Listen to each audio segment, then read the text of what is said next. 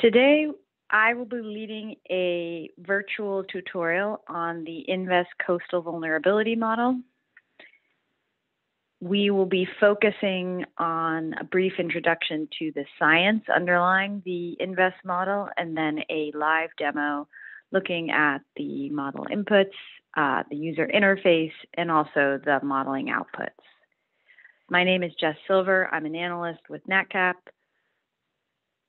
on the Marine team in Seattle, Washington, and I have been working with the InVEST Coastal Vulnerability Model as well as some of the other coastal and marine models for uh, a little more than 10 years at NatCap.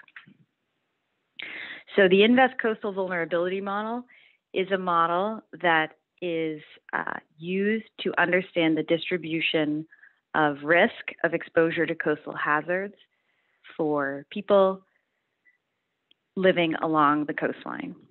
So it's a model that incorporates a number of different aspects of uh, coastal and nearshore processes, which include climatic forcing conditions along the coast, so exposure to uh, waves and wind, as well as potential exposure to storm surge, and then also natural characteristics about the shoreline, such as the shoreline type or geomorphology, the elevation, as well as the presence and extent of different kinds of natural habitats. So the main questions that the model is designed to help answer are questions such as, are there areas in my region that may be more exposed to coastal hazards? Uh, specifically understanding where people and infrastructure and other valuable assets are most exposed to coastal hazards in my region. And then also a focus on understanding where marine and nearshore ecosystems can help reduce these impacts. The data inputs for the model are rasters and shape files that speak to a number of different shoreline characteristics. So uh, I will go through these individually, but in brief, the model takes into account information about shoreline geomorphology, so the shoreline type, about the extent and type of biotic and abiotic habitats, exposure to wind, waves, and potential for exposure to storm surge, coastal elevation, also known as coastal relief, sea level rise, and then lastly, information about social and economic metrics along the coastline. So this is a relative index-based ranking model. So each of the model inputs are ranked from one, which is the lowest contributor to coastal exposure, so essentially the lowest risk category, to high, which is a five, and that's the greatest potential for contributing to coastal risk. So we have low exposure, low risk with a one, high exposure, high risk with a five. And each of the inputs is assigned ranks, and the ranks are a mixture of absolute and relative values depending on the different input. And again, we will walk through each of these individually. So the first input is shoreline geomorphology. And so in this case, the model is trying to distinguish between shorelines that are relatively hard to erode or uh, wash away versus very soft shorelines. So in this case, we're really trying to distinguish between uh, rocky, gravelly shorelines and sandy, muddy shorelines. And so here, this is a an input where the user is going to assign absolute ranks based on the different shoreline type. This is often a line shapefile where the ranks are assigned to line segments. The next input is coastal relief or coastal elevation. And in this case, the model is trying to distinguish between low-lying areas, which are going to be more prone to erosion and inundation, sorry, to flooding and inundation, versus uh, more steep areas, which are going to be less likely to flood in a storm. In this case, the model uses a digital elevation model or a topographic layer to calculate the average relief for each shoreline segment. And then it calculates the ranks based on the full distribution of elevation data for the region. The next input is natural habitats. So in this case, the model can take into account information about the extent and the type of both biotic and abiotic natural habitats. And it applies a user defined rank that corresponds to the potential for different types of habitats to provide different levels of coastal protection. So, for example, coral reef, mangrove forests, dense coastal forests might be given a rank of one, which indicates that they are more effective at providing coastal protection than a habitat such as seagrass or kelp forest, which may provide some protection, but certainly less than the more rigid habitats. The model also can incorporate information about sea level rise, and it does this in a couple different ways. So, if there is a region, such as the coast of the United States, the world, uh, essentially, if you're running the model over a region where you have spatial variation in relative sea level rise rate across the region, and you have the data to understand how sea level rise varies, you can capture that spatial variability in the model directly. So in this case, we have a number of different relative sea level rise rate trends, and we calculate the ranks based on the distribution of rates. You can also use the model to look at the difference between current and future sea level rise scenarios. So in some cases, either there isn't spatial variability or you want to incorporate both spatial ver- variability and future net rise. And you can use the model to look at that. For reference, we have published a number of papers, including the Nature Climate Change paper here on the right, that have extensive discussions about how you can use the model to look at different sea level rise scenarios. So the model also looks at exposure to wind and waves, and in both cases, it uses a globally available uh, data set that is curated by NOAA.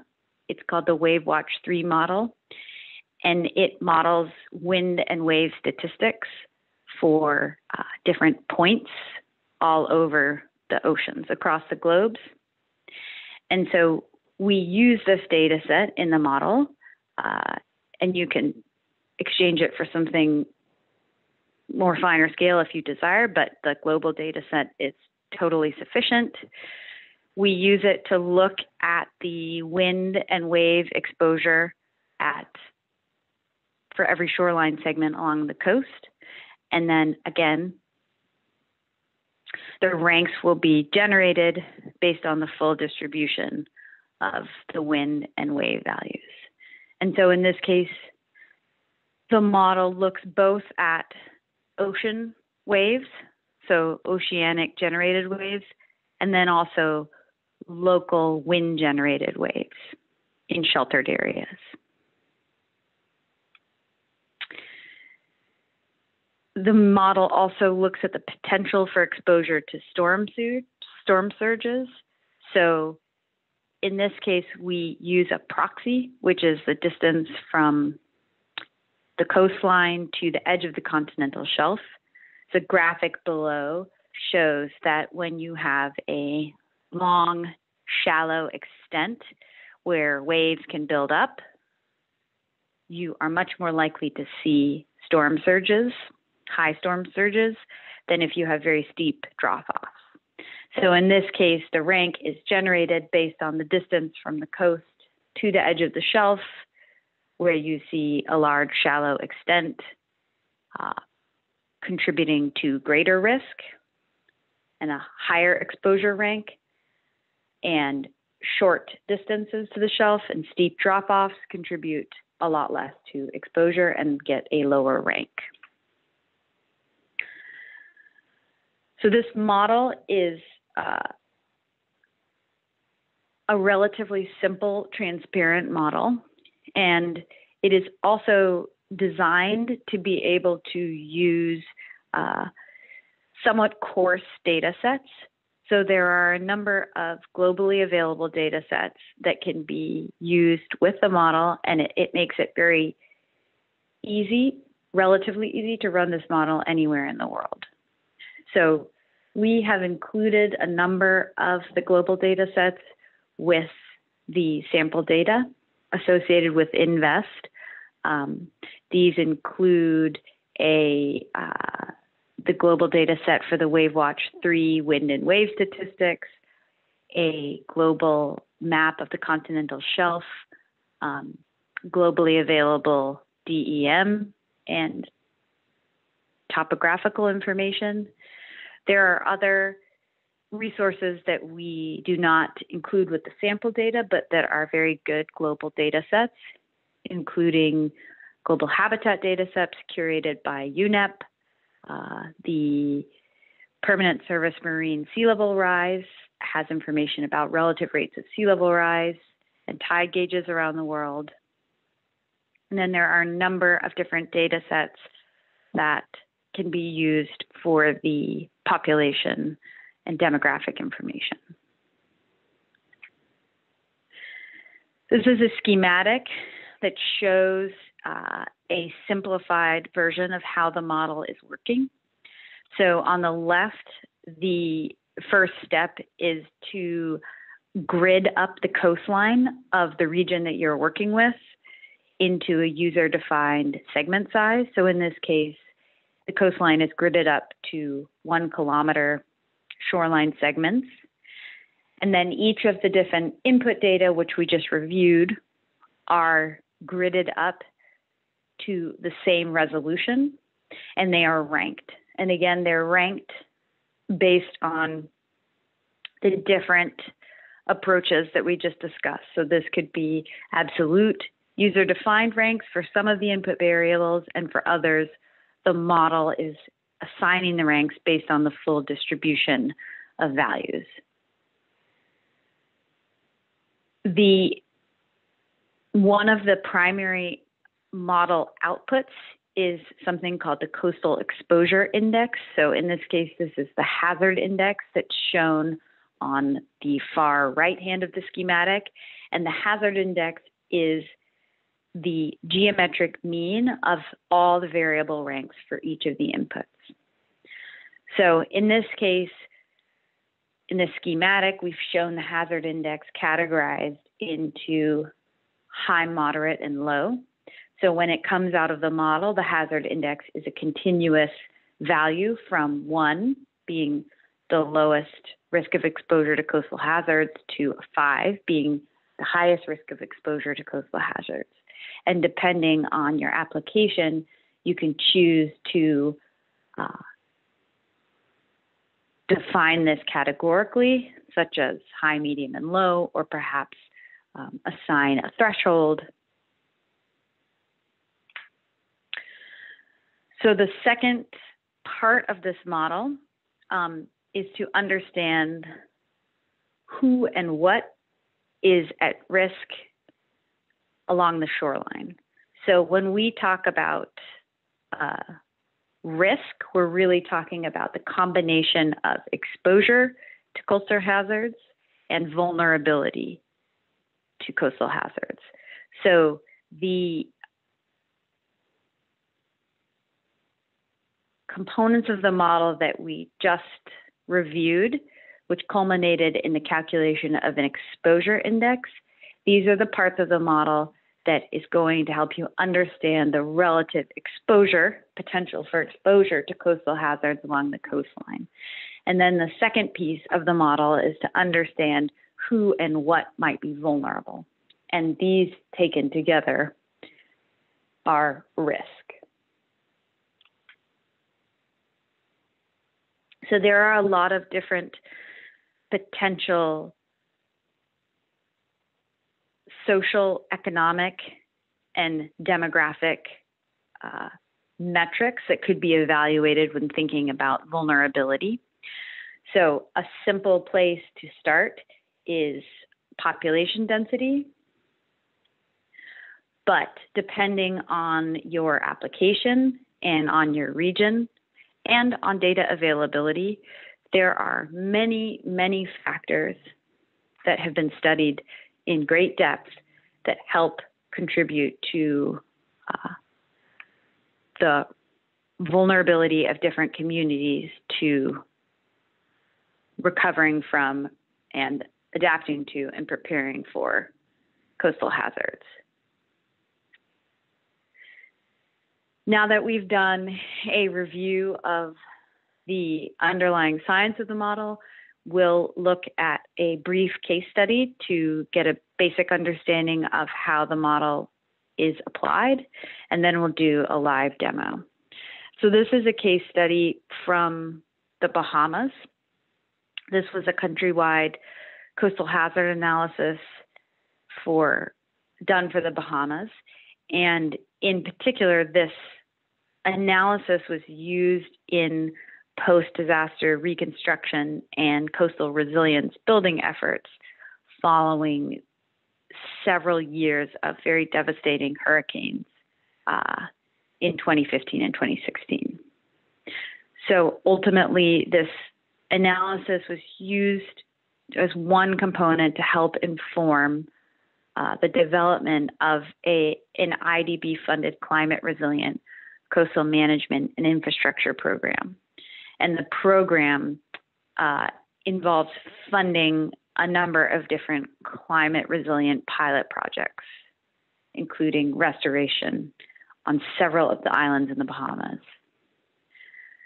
So, the key questions that were driving the work in the Bahamas are where are people at risk from coastal hazards in the Bahamas, and how might sea level rise change the distribution of risk across the country? And then understanding where coastal and marine ecosystems provide protection currently and under future sea level rise for the most socially vulnerable populations. So, this is an example of the types of results that are produced by the coastal vulnerability model. So, on the left is a map showing the distribution of relative risk across the Bahamas under the current baseline scenario. So in this case, you see three different categories, and the red shoreline are those areas where the risk of exposure to coastal hazards is greatest um, relative to the country as a whole. And one of the things that the model helps to understand is not only the distribution of risk, but what is driving risk. So in this case, in the gray, you can see the continental shelf, the extent of the continental shelf, and you may notice that areas in the Bahamas that have the greatest potential for exposure to hazards, so those are the red areas, are often those areas that are sitting on the side of islands where you have long expanses of continental shelf.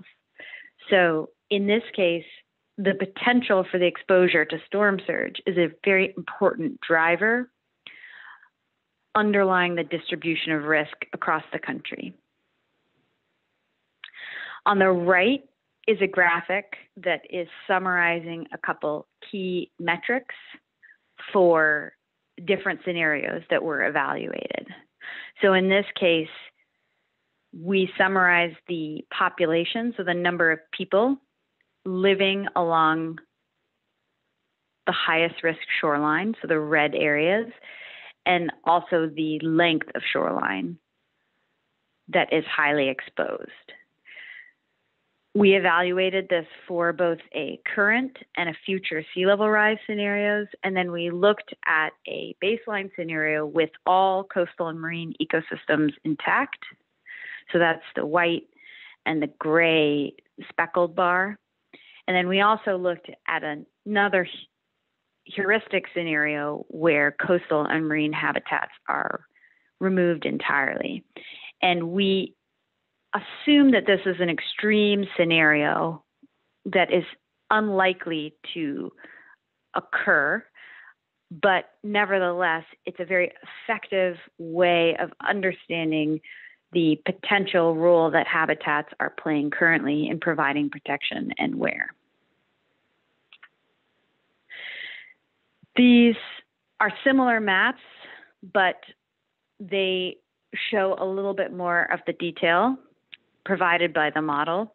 So in this case, we're zooming in on two islands in particular. We're looking at the island of New Providence on the top, and we're looking at the island of Grand Bahama on the bottom. These two islands are two of the most populated in the country, and uh, New Providence is the uh, island, is the capital island. So Nassau is on New Providence. So on the far left panels, you can see the different coastal and marine ecosystems that are providing protection for these two islands. And then in the center panels, in the red areas, those are areas that are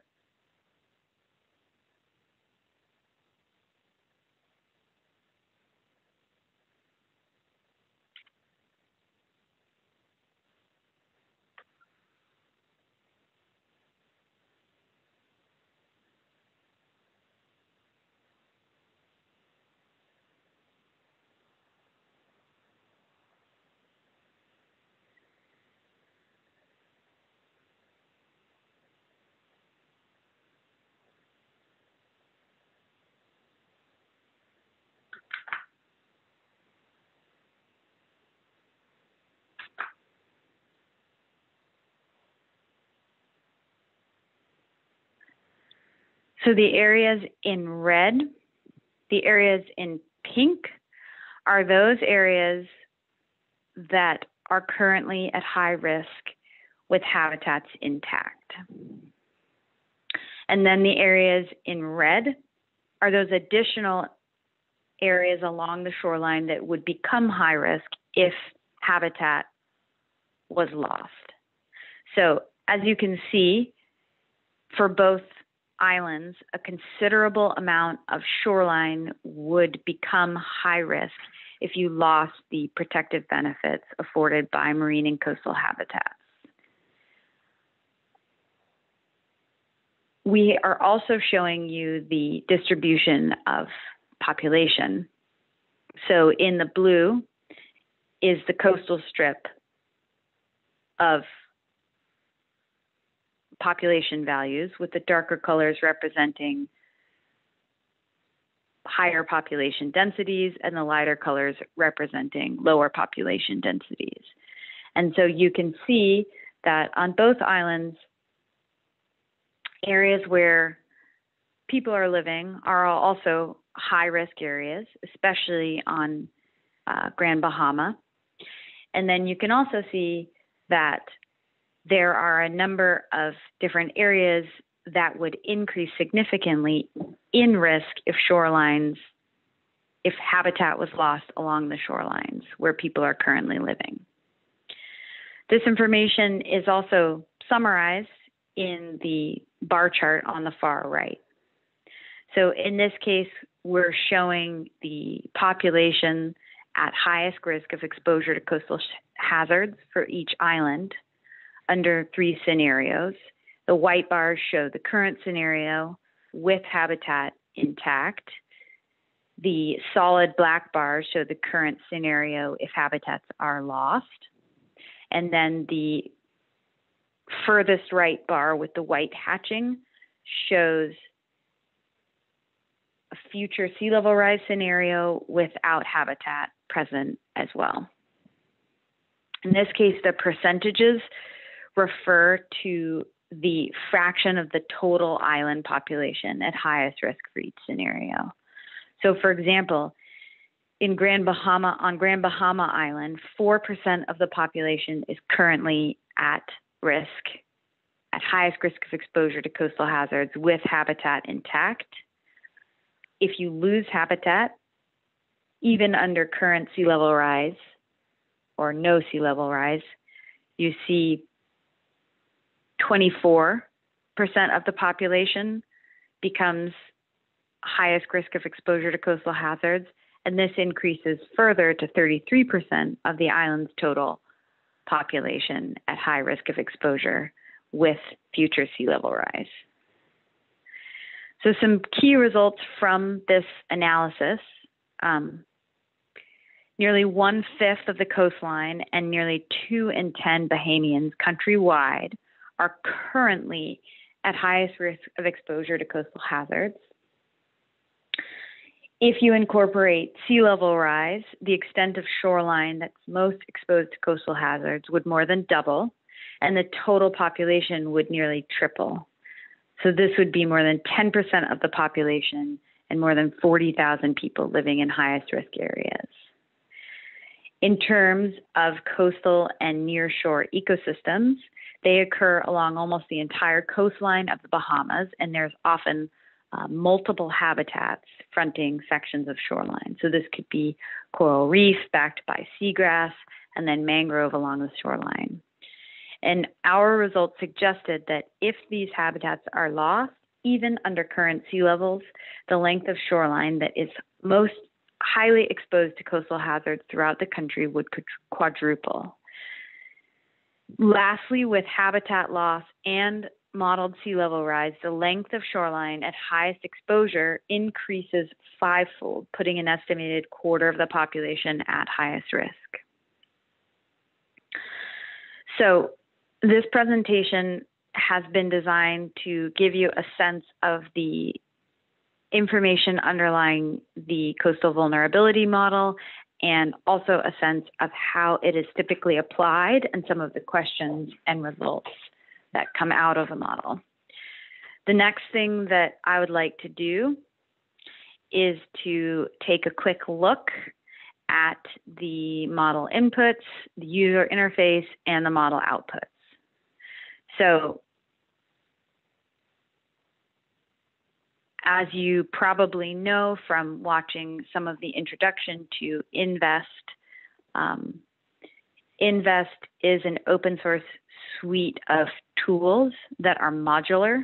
So today we'll be working with one specific model, the coastal vulnerability model. Each of these models has sample data associated with the model that can be downloaded as part of the software or separately from the website that are designed to give you a starting place to understand how the model works. You can use, you need to use a GIS. You need to have basic understanding of using a GIS. Uh, you do not need to be an expert by any means. And you can use ArcGIS or QGIS, which is a free open source GIS software. So in this case, I'm using InVEST 3.9 and I have downloaded the sample data for the coastal vulnerability model. These sample data are from the Bahamas case study analysis that you saw uh, in the previous presentation, and we'll just look at them very quickly. So one thing that you will need to create for every region that you do this analysis is an area of interest. So this is called an AOI. And essentially, an AOI is just showing the model uh, the area over which you want it to run. So if I pull in my land polygon, I can see that here my AOI for the model is the northwestern corner of Grand Bahama Island.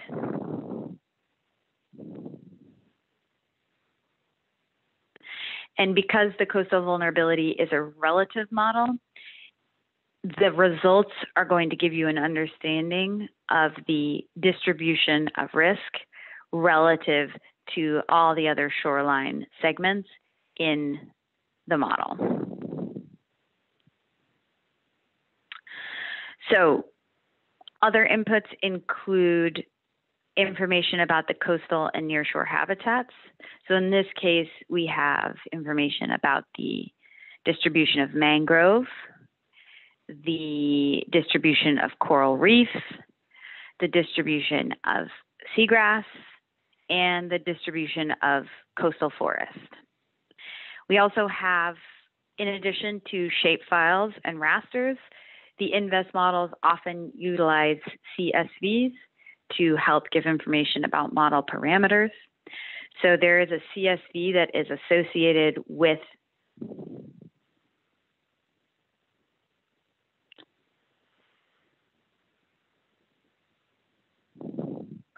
there is a CSV that is associated with the natural habitats, which give the model uh, a number of different pieces of information. These include an ID and a path for each shapefile. They also include the rank associated with each habitat. So, as I said, some of the ranks are absolute values that are assigned by the user. In this case, natural habitats fits into that category. And then there's also a protective distance that corresponds to the distance over which the model should look out from the shoreline to find a given habitat. So this is essentially a computational shortcut that helps the model understand which habitat types are providing protection for a given coastal segment. And we have more information in our user's guide to help you understand how to assign both ranks and protective distances. Other inputs are uh, bathymetry, information about bathymetry, information about the continental shelf. So in this case, this is one of the global data sets that's available with uh, the InVEST model that you can use anywhere in the world. So it's a map of the continental shelf. There is also uh, information about the topography. So in this case, it's the SRTM 30 meter topographic map, and this is what the model is going to use to calculate coastal relief. There's also information about the coastal geomorphology. So in this case, this is often a data set that is either hard to come by uh, or incomplete and requires some um, some creation effort on behalf of the user. So in this case, the key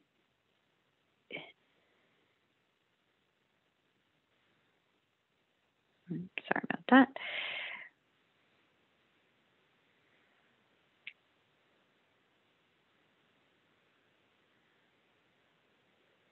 I'm going to try sharing my screen again.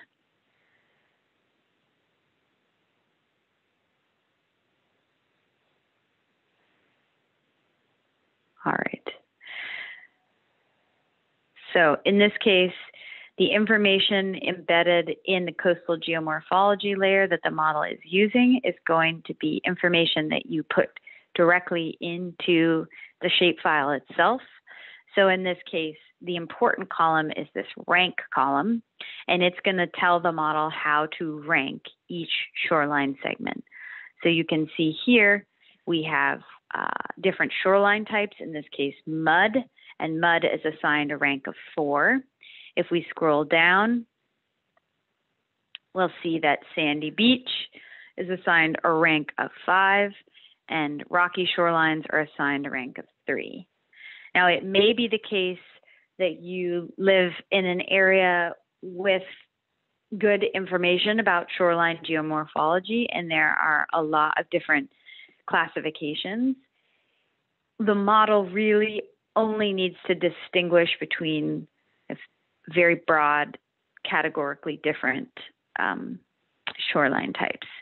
So rather than trying to figure out how to reflect the difference between large gravel beach and medium gravel beach and small gravel beach, really what we want to understand is the difference between rocky shorelines, gravel beaches, muddy shorelines, sandy shorelines. So it's a fairly coarse representation of coastal geomorphology.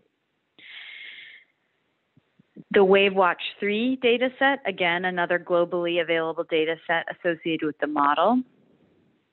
As I said, this is a grid for the world. And each of these shoreline point or each of these grid points has information about wind and wave statistics that the model uses to calculate the wind and wave ranks. And then the last input is the uh, population. So again, this is going to be a raster data set that's going to give the model an understanding of where people are living. And if we symbolize it slightly differently, it becomes clear where the populated areas are. So those are the inputs associated with the models. And now we will look briefly at the user interface. And then we will come back and look at the model outputs to give you a sense of what that looks like. So in terms of the model interface, if you go to your start menu and scroll down to InVEST, I have a number of different versions of InVEST. You'll see each of the different models. So InVEST is modular, and so each of these models has its own user interface and its own modular workspace. And if we click on the coastal vulnerability, it takes a moment to open.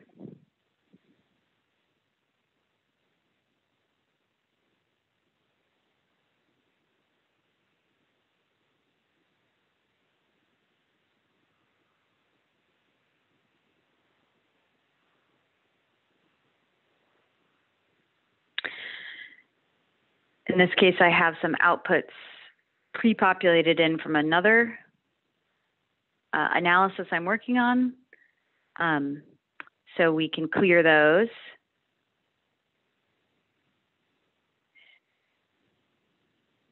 Or not. Um, let's try it again.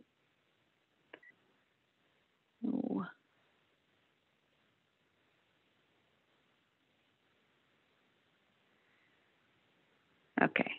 All right, it's working just slowly. So this is a very typical InVEST user interface. So it's going to give you a mix of spatial data, rasters, vectors, and then it's also going to ask for some CSVs, and then in some cases, it'll ask directly for some parameters. So there are a number of different ways to navigate to your inputs and input them into InVEST.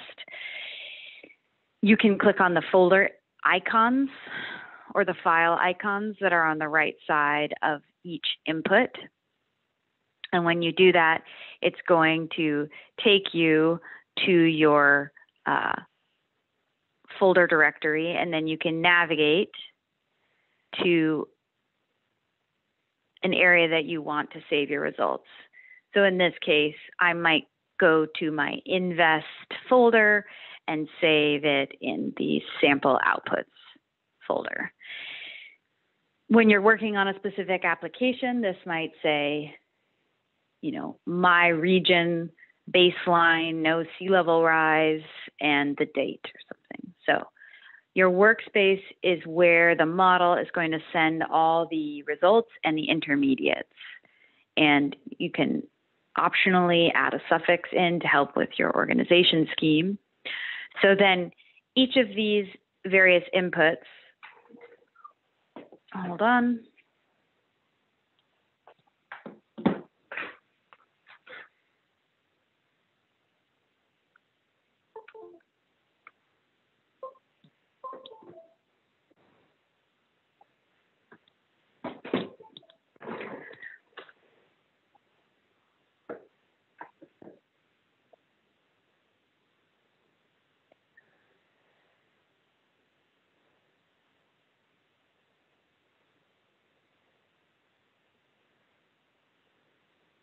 All right. So each of the inputs, in this case, we are going to load the area of interest. So we will navigate to our, through our Windows Explorer, navigate to the InVEST folder, and then I can see here that I have the sample data, coastal vulnerability, and then I'll be able to see all of the different files that are in my sample data. So in this case, I would load the AOI, that's my area of interest shapefile.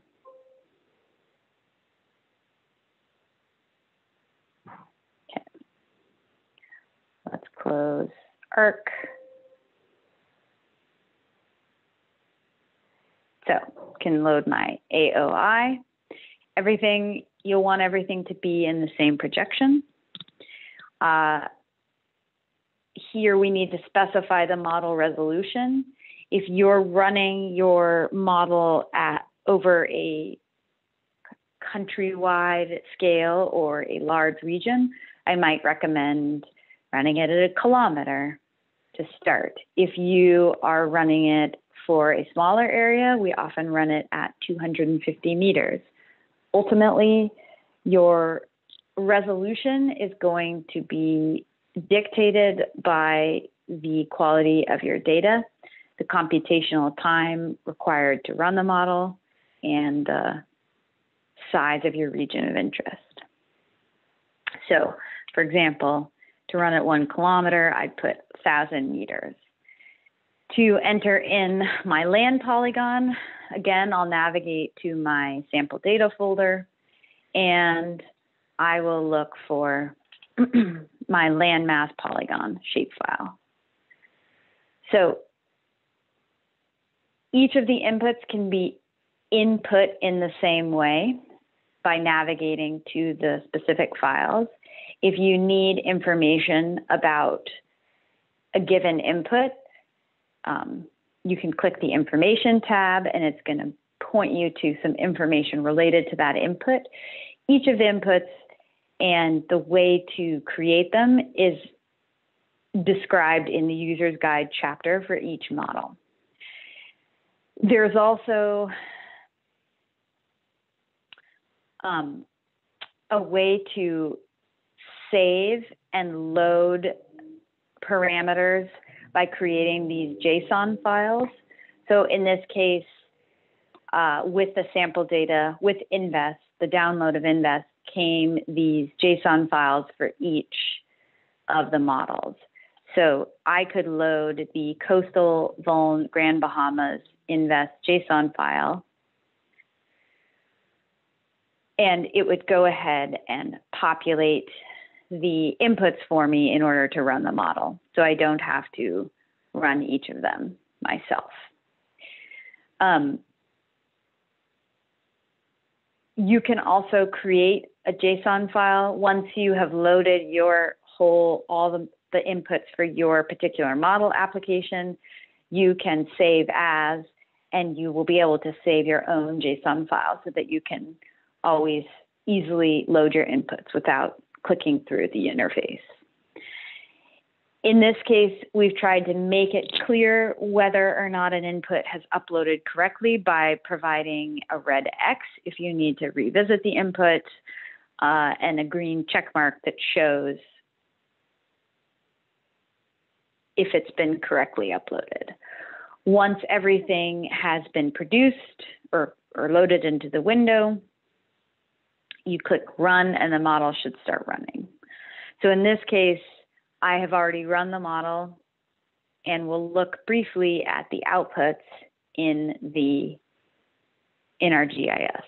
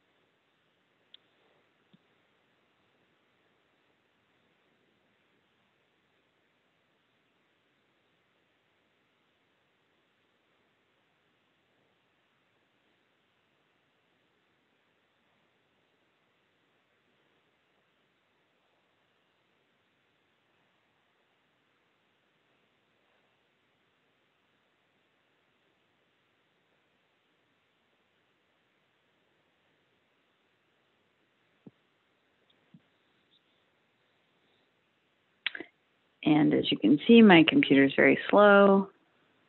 I'm sorry about that.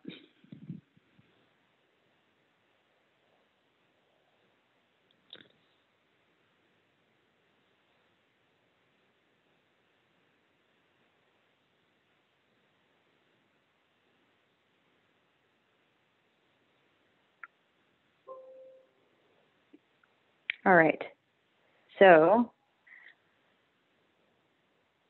let me put back up the land polygon and then we'll look at the outputs. So on the right here, you can see this is what will be produced by the CV model. So there's a file here called, or a folder called intermediate. In the intermediate are all the different individual inputs and associated information for each one. So for example, for all the for the wind wave, you can see a number of the different steps that the data produced by different steps associated with calculating the wind and wave parameters. The model produces something called a log file. And when you are trying to troubleshoot why you were getting an error or communicating with the InVEST software team for any reason, you'll want to refer to this log file. So it's going to tell me my inputs, so what I what my inputs were for this particular model run, and then it's going to give me a lot of information which I don't need to understand, and then ultimately at the end, if you were to get an error, there will be some description here that may help you to understand what caused the error. So even if you have a run that ends with an error, a log file would be created, and that is going to be one place that you're going to want to look to see if you can track the error. So the outputs, the main coastal exposure outputs are going to be in this coastal exposure geo package. And if I pull in the information, what you will see is shoreline points that correspond to the segment size that you specified in the user interface. And when I open up the attribute table, you'll see there's a, a lot of different information in the attribute table. So there's a unique identifier, a shore ID associated with each point. And this is going to be very important if you want to do post processing and then join it back to the original table. And then you have the different information, uh, the different ranks for each of the various input variables. So this is R underscore HAB. So this is the habitat rank, the wind rank, the wave rank, surge rank, relief rank, and geomorphology rank. And as I said in the introductory talk, part of what the model is designed to be able to speak to is not only where is risk distributed along your shoreline, but what are the drivers? So understanding the underlying ranks for the input variables are going to be really important in figuring out the different risk drivers. You're also going to have information about the number of people. So in this case, this is the where you have null. It is likely that there's no data for that cell, but the values are the po average population density within a search radius for a given shoreline point. So, as I said previously in the talk, the main output for the model is this exposure index. So this is the continuous variable ranging from one to five. So here we see we have an exposure index associated with each shoreline point. This is a metric which ultimately many times people choose to categorize further. For example, you could convert this or, or look at the different quartile breakdowns here and consider each quartile to be a risk category. And instead of showing the continuous variable, show something like high, medium, and low, for example. The exposure no habitats is a scenario that is automatically run by the model. And this is the scenario in which we assume that all coastal and marine habitats are gone. So this is that without habitat scenario that I was showing you in the uh, Bahamas case study example. And again, this is designed to be a an extreme scenario that is a bookend for understanding the protection provided by coastal and marine habitats. And then the last piece of information is the habitat role. And this is the difference between the exposure no habitats and the exposure index with the habitats intact. So, for example, if I were to symbolize my sample data set by a few of these categories. I could symbolize it by coastal exposure.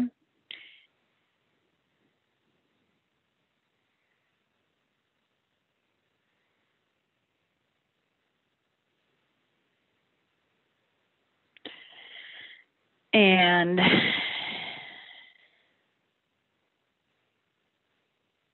so in this case, the, the purple colors, the darker purple colors are going to be areas where you see greater coastal exposure.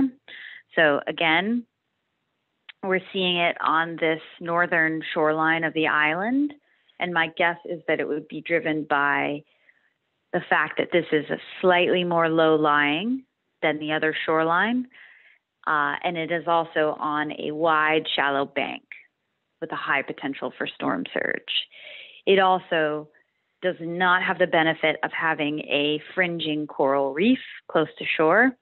So if you'll remember the habitat data,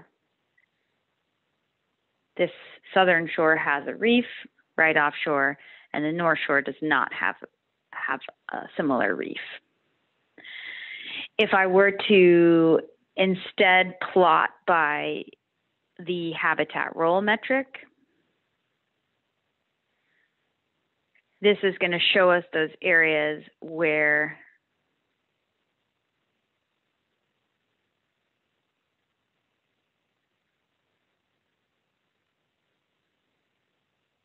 habitats are playing the greatest role in providing protection. So this, these are areas where uh, you particularly see uh, the importance for protecting existing habitat is in areas with high habitat role. And then if I wanted to look at each of the underlying drivers, for example, maybe I wanted to see the storm surge ranks.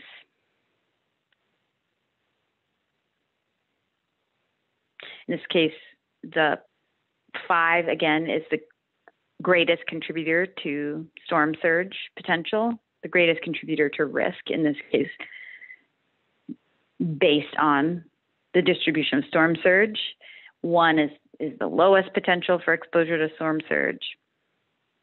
And here we see the importance of that underlying driver. So, a much lower potential for storm surge on the southern coast and a much higher potential for storm surge on that northern coast. And again, that is driven by this continental shelf distance. So I'll end this tutorial here. Thank you for joining me and uh, please do not hesitate to get in touch with us if you have questions. Thanks so much.